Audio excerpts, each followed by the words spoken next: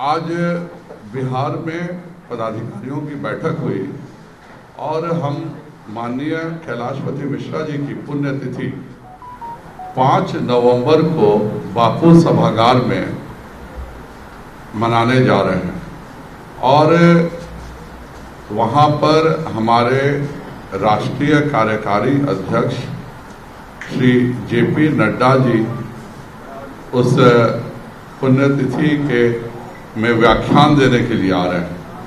और उसी के निमित्त आज हमारी सभी बैठकें हुई हैं। और राष्ट्रीय कार्यकारी अध्यक्ष जेपी नड्डा जी का बनने के बाद यह प्रथम बिहार आगमन है। इसीलिए भारतीय जनता पार्टी ने उनके स्वागत की, वृहद तैयारी की है।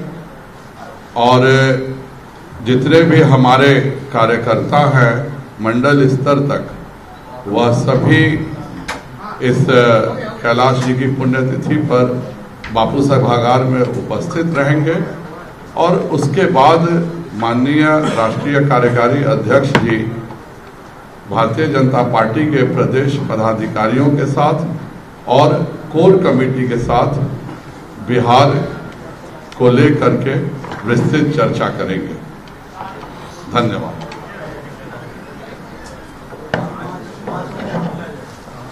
आप लोगों के कोई प्रश्न हो? नहीं प्रश्न। और प्रश्न जो विषय है रखा है उसी से जुड़ा हो तो ठीक रहेगा।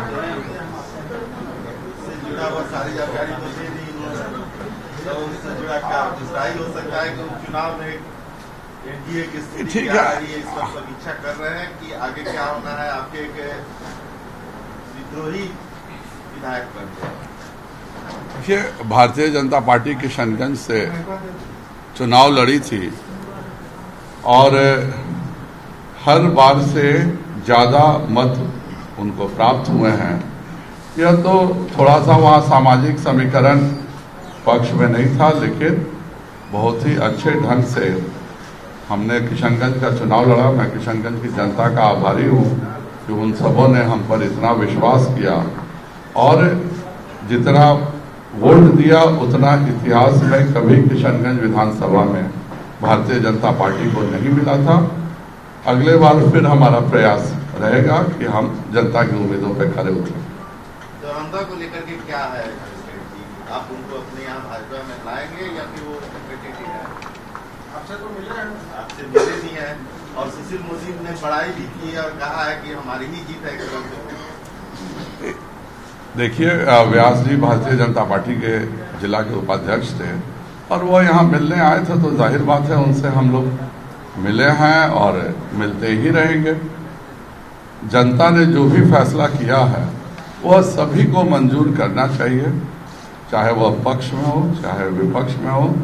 पर जनता ने जो अपना निर्णय दिया है, उस पर हम सभी को भी विचार करने की ज़रूरत है और जो भी कमियाँ रह गई हैं वह हम निश्चित तौर पे ठीक करेंगे। उनका कहना है कर्णजीत सिंह का कि उन्होंने पार्टी से निकाला नहीं गया वो एनडीए में है बीजेपी के सदस्य हैं वो अभी तक।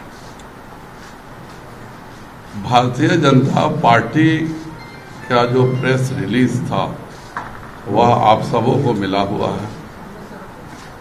भाजपा में कोई भी व्यक्ति आने के लिए स्वतंत्र है और अगर कोई व्यक्ति आता है तो जो भी व्यक्ति आता है, उन सबों का भाजपा में स्वागत है। भाजपा में जो भी व्यक्ति आना चाहे, आप भी अगर पत्रकारिता छोड़ के भाजपा ज्वाइन करिए, आपका भी मैं उतना ही जोश से स्वागत करूँगा।